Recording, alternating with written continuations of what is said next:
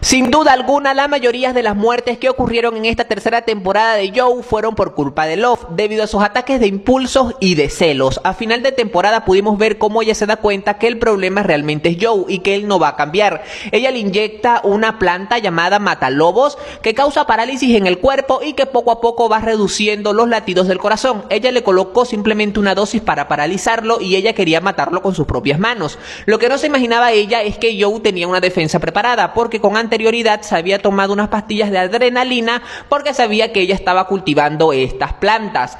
Eh, Joe básicamente la ataca, le inyecta una dosis mucho más fuerte que la va a paralizar y va a terminar de reducir sus latidos del corazón. Joe envía una carta a todos los vecinos por correo electrónico indicando de que Love es la culpable de todo. Eh, él se hace pasar por ella básicamente, se corta unos dedos del pie para dejar rastros de él para indicar de que Love lo mató y que posterior a eso ella se quitó la vida e incendió la casa. Pero realmente Love murió.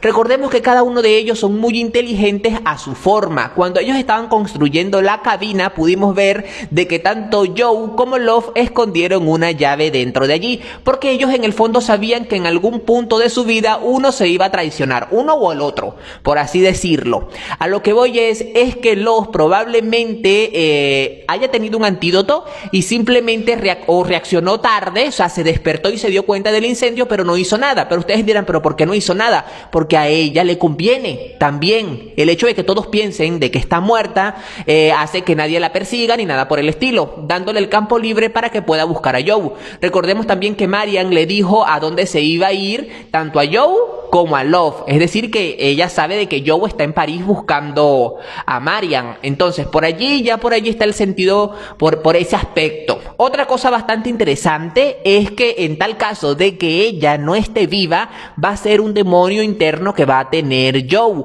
Porque en esta temporada pudimos ver de que Love era como una especie de freno a los impulsos de Joe. Él decía, esta persona me gusta, pero si Love se entera, la va a matar. Porque Love no come cuento. Love, me molestas, te mato.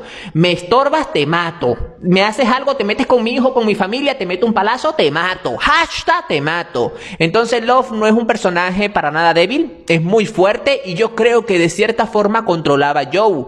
Entonces allí estaba ese balance y ese nivel, porque yo creo que ellos deberían morir como Romeo y Julieta. Hashtag que se mueran los dos. Déjame en los comentarios si tú piensas que Love está viva. Déjame tus teorías, tus argumentos, si piensas que está muerta o si realmente ya no la quieres ver en la serie de Joe. Si me lo preguntan a mí, yo sí la quiero ver porque esta mujer se la viene con todo. Esta mujer es un desastre, pero me encanta. Loca, asesina, pero bella y bonita y sabe cocinar. Hashtag me despido.